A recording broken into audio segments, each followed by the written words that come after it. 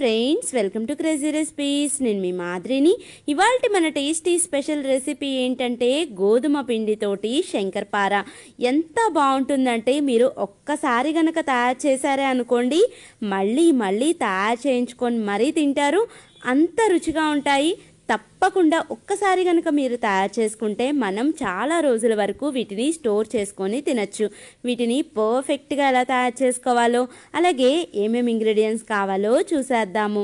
ముందుగా ఈ శంకర్పార తయారు చేసుకుంటానికి మనం స్టవ్ మీద ఒక వెడల్పాటి గిన్నెను కానీ బాండిని కానీ పెట్టుకొని ఒక కప్పు పాలని యాడ్ చేసుకోవాలి. ఏ కప్పుతో అయితే మనం పాలని యాడ్ చేసుకుంటామో అదే కప్పుతోటి అర కప్పు పంచదారను కూడా వేసుకుందాము. ఈ పంచదార పాలు రెండు కూడా బాగా కలిసేలాగా కలుపుకుందాము. అంటే రెండు కూడా మనకి బాగా కరిగిపోవాలి. అలాగే ఇప్పుడు ఇవన్నీ కూడా బాగా కరిగిపోయాక మనం స్టవ్ ఆఫ్ చేసేసి ఓ పక్కకి పెట్టేసుకుందాము. మనకైతే పర్ఫెక్ట్గా ఈ రెండు కూడా బాగా కరిగిపోయినాయి. ఇప్పుడు ఏదైతే కప్పుతోటి మనం పాలను తీసుకున్నామో అదే కప్పుతోటి పావు కప్పు నెయ్యిని కూడా తీసుకోవాలి. ఇక్కడ నేను పేరిన నెయ్యిని తీసుకొని ఈ నెయ్యి మొత్తాన్ని కూడా వేడిగా అయ్యేలాగా చూసుకుంటున్నాను.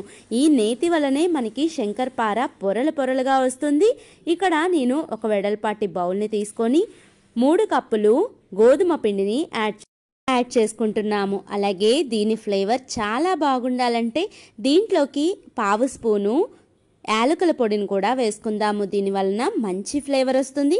అలాగే ముందుగా మనం కరగపెట్టుకున్న ఈ నెయ్యి మొత్తాన్ని కూడా వేసుకోవాలండి. ఈ నేతి వల్లనే మనకి శంకర్పార పొరలు పొరలుగా తినేటప్పుడు క్రిస్పీగా సూపర్ టేస్టీగా వస్తాయి. ఇప్పుడు దీంట్లోకి ముందుగా మనం కరగపెట్టుకున్న ఈ పాలు పంచదార మిశ్రమాన్ని కొంచెం కొంచెంగా వేసుకుంటూ మొత్తం అంతా కూడా చపాతీ ఉండలాగా కలిసేలాగా కలుపుకోవాలి. ఒక్కసారిగా మనం ఈ మిశ్రమాన్ని ఎక్కువ యాడ్ చేయకూడదండి. అప్పుడు లూజ్ అయిపోయే ఛాన్సెస్ ఉంటాయి. ఒకే ఒక్కసారి కనుక మీరు తయారు చేసుకుంటే మళ్ళీ మళ్ళీ తినచ్చండి.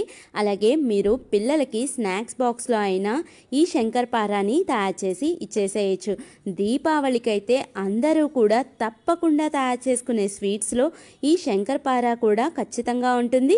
చూసారా మనకి మొత్తం అంతా కలిసిపోయింది. అలాగే మనం తయారు చేసుకున్న ఈ పాలు పంచదార కూడా అయిపోయినాయి. ఇక్కడ మనం తయారు చేసుకున్న ఈ పిండి ముద్దని ఇలాగా వెడల్పుగా స్ప్రెడ్ చేసుకోవాలి. తర్వాత మనం పిజ్జా కట్టర్ తో కానీ లేకపోతే చాక్తో కానీ ఇలాగా పీసెస్ లాగా కట్ చేసుకోవాలి. నేనైతే ఇలాగా స్వేర్ పీసెస్ లాగే కట్ చేస్తున్నాను. మీరు ఏ షేప్లో కావాలంటే ఆ షేప్లోకి కట్ చేసుకోవచ్చు. ఇలాగా ఎక్స్ట్రా ఉన్న ఎడ్జెస్ మొత్తాన్ని కూడా తీసేసి వీటన్నిటినీ కూడా మనం ఒక ప్లేట్లోకి తీసి పెట్టేసుకుందాము. ఇలాగా మొత్తం అన్నీ ఒకేసారి తీసుకోవటం వలన మనకి ఇవన్నీ కూడా వేయించుకోవటం చాలా ఈజీ అయిపోతుంది. చూసారా? మనం గోధుమ పిండితో కూడా ఎంత బాగా ఈ శంకర్పారాన్ని తయారు చేసుకోవచ్చో. నెక్స్ట్ స్టవ్ మీద డీప్ ఫ్రైకి సరిపడా ఆయిల్ని పెట్టుకొని ఆయిల్ అంతా కూడా వేడయ్యాక ముందుగా మనం తయారు చేసుకున్న వీటి మొత్తాన్ని కూడా ఇలాగా ఒకదాని తర్వాత ఒకటిని వేసుకుందాము. ఇవన్నీ కూడా ఒక్కసారిగా కదపకూడదండి. రెండు నిమిషాలు ఆగాక మొత్తాన్ని కూడా మనం తిప్పుకుంటూ ఫ్రై చేసుకుందాము. అప్పుడు అన్ని వైపులా కూడా మనకి ఈవెన్గా ఫ్రై అయిపోతాయి. చూసారా? మనకి ఆల్మోస్ట్ ఆఫ్ ఆల్ మొత్తం అన్నీ కూడా ఫ్రై అయిపోయినాయి. ఇప్పుడు దీంట్లో ఉన్న ఎక్స్ట్రా ఆయిల్ మొత్తాన్ని కూడా తీసేసి వేరొక సర్వింగ్ ప్లేట్లోకి సర్వ్ అవుట్ చేసేసుకుందాం. ఎంతో టేస్టీ అయిన శంకర్పార తయారైపోయినాయి. మీరు కూడా ఖచ్చితంగా ట్రై చేయండి. మీకు కూడా బాగా నచ్చుతాయి. నా వీడియో నచ్చిందనుకుంటున్నాను. లైక్ చేయండి షేర్ చేయండి ఛానల్ని సబ్స్క్రైబ్ చేసుకోండి. Thank you for watching my videos bye bye